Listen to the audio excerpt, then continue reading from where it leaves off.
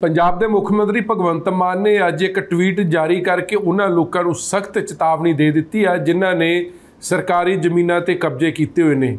ਸਾਫ਼ ਸ਼ਬਦਾਂ ਵਿੱਚ ਮੁੱਖ ਮੰਤਰੀ ਭਗਵੰਤ ਮਾਨ ਨੇ ਕਹਿ ਦਿੱਤਾ ਕਿ ਅਗਰ ਕਬਜ਼ੇ ਨਾ ਛੱਡੇ ਤੇ ਉਹਨਾਂ ਦੇ ਖਿਲਾਫ ਸਖਤ ਕਾਰਵਾਈ ਹੋਊਗੀ।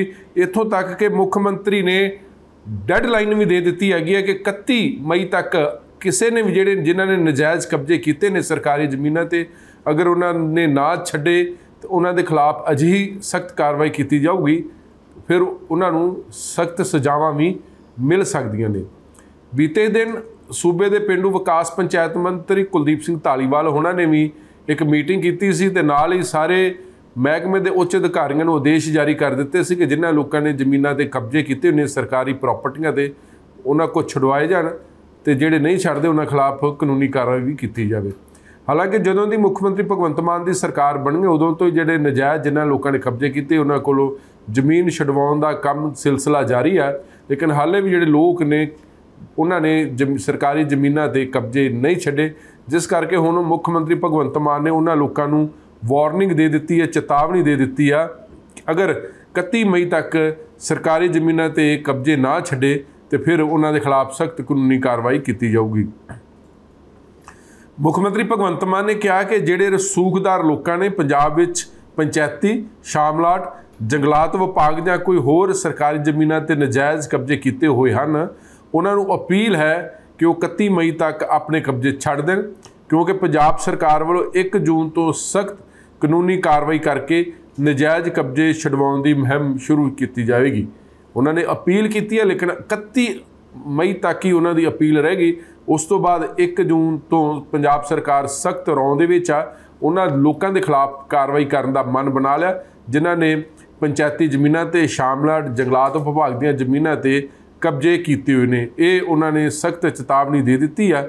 ਪੰਜਾਬ ਦੀ ਜਿਹੜੀ ਪੰਚਾਇਤੀ ਜਾਂ ਸ਼ਾਮਲਾਟ ਜਾਂ ਜੰਗਲਾਤ ਵਿਭਾਗ ਸਮੇਤ ਜਿਹੜੀਆਂ ਬਾਕੀ ਸਰਕਾਰੀ ਜ਼ਮੀਨਾਂ ਤੇ ਕਬਜ਼ੇ ਨੇ, ਜਿਨ੍ਹਾਂ ਨੇ ਕਬਜ਼ੇ ਕੀਤੇ ਹੋਏ ਨੇ, ਉਹਨਾਂ ਦੇ ਖਿਲਾਫ ਸਖਤ ਕਾਰਵਾਈ ਕਰਨ ਦੀ ਸਰਕਾਰ ਵੱਲੋਂ ਆਦੇਸ਼ ਜਾਰੀ ਕਰ ਦਿੱਤੇ ਗਏ ਨੇ। ਖੁਦ ਮੁੱਖ ਮੰਤਰੀ ਭਗਵੰਤ ਮਾਨ ਨੇ ਟਵੀਟ ਜਾਰੀ ਕਰ ਦਿੱਤਾ ਕਿ 31 ਮਈ ਤੱਕ ਜਿਨ੍ਹਾਂ ਲੋਕਾਂ ਨੇ ਸਰਕਾਰੀ ਜ਼ਮੀਨਾਂ ਤੇ ਕਬਜ਼ੇ ਨਾ ਛੱਡੇ, ਉਸ ਤੋਂ ਬਾਅਦ ਉਹਨਾਂ ਦੇ ਖਿਲਾਫ ਸਖਤ ਕਾਰਵਾਈ ਕੀਤੀ ਜਾਊਗੀ।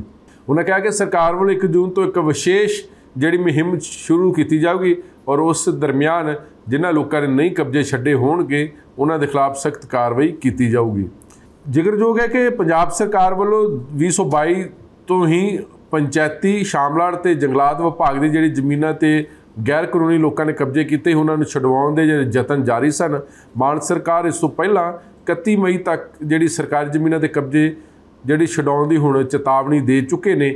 ਹਾਲਾਂਕਿ ਜਿਹੜੀ ਮੁਹਿੰਮ ਪੁਰਾਣੀ ਹੈ ਲੇਕਿਨ ਬਹੁਤ ਸਾਰੇ ਲੋਕਾਂ ਨੇ ਹਾਈ ਕੋਰਟ ਜਾ ਕੇ ਸਟੇ ਲੈ ਲਏ ਸੀ, ਲੇਕਿਨ ਉਸ ਦੇ ਬਾਵਜੂਦ ਕਈ ਲੋਕਾਂ ਨੇ ਕਬਜ਼ੇ ਨਹੀਂ ਛੱਡੇ ਸੀ। ਤੇ ਹੁਣ ਮੁੱਖ ਮੰਤਰੀ ਵੱਲੋਂ ਦੁਬਾਰਾ ਇਹ ਜਿਹੜੀ ਚੇਤਾਵਨੀ ਦਿੱਤੀ ਗਈ ਤੇ ਲਾਜ਼ਮੀ ਤੌਰ ਤੇ ਹੁਣ ਇਹ ਮੰਨਿਆ ਜਾ ਰਿਹਾ ਹੈ ਕਿ ਕਬਜ਼ੇ ਜਿਹੜੇ ਨਹੀਂ ਛੱਡਣਗੇ, ਉਹਨਾਂ ਤੇ ਖਰਚੇ ਤੇ ਪਰਚੇ।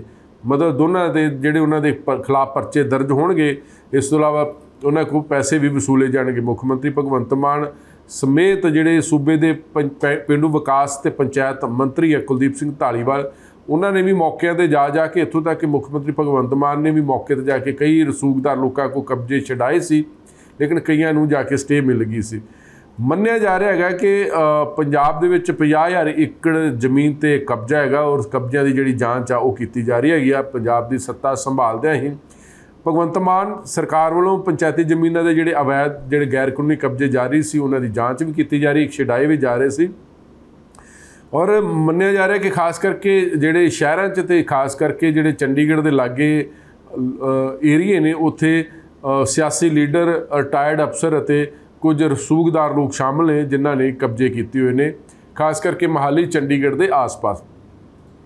ਇੱਥੋਂ ਤੱਕ ਸਰਕਾਰ ਇਹ ਵੀ ਕਹਿ ਚੁੱਕੀ ਹੈ ਕਿ ਇਹਨਾਂ ਜ਼ਮੀਨਾਂ ਦਾ ਫਾਇਦਾ ਪੰਚਾਇਤਾਂ ਨੂੰ ਹੋਣਾ ਚਾਹੀਦਾ ਤੇ ਕਬਜ਼ੇ ਛਡਾ ਕੇ ਇਹ ਜਿਹੜੀਆਂ ਜ਼ਮੀਨਾਂ ਉਹਨਾਂ ਦੇ ਜਿਹੜੇ ਅਧਿਕਾਰ ਉਹ ਪੰਚਾਇਤਾਂ ਨੂੰ ਸੌਂਪੇ ਜਾਣਗੇ, ਇਸ ਤੋਂ ਪੰਚਾਇਤਾਂ ਦੀ ਕਮਾਈ ਹੋਊਗੀ ਕਿਉਂਕਿ ਫਿਰ ਪੰਚਾਇਤ ਮਤੇ ਪਾਸ ਕਰਕੇ ਅੱਗੇ ਵਾਹੀਯੋਗ ਜਿਹੜੀ ਜ਼ਮੀਨ ਹੋਊਗੀ, ਉਹ ਠੇਕੇ ਤੇ ਦੇ ਕੇ ਪੰਚਾਇਤ ਦੀ ਇਨਕਮ 'ਚ ਵਾਧਾ ਕਰ ਸਕਦੇ ਨੇ।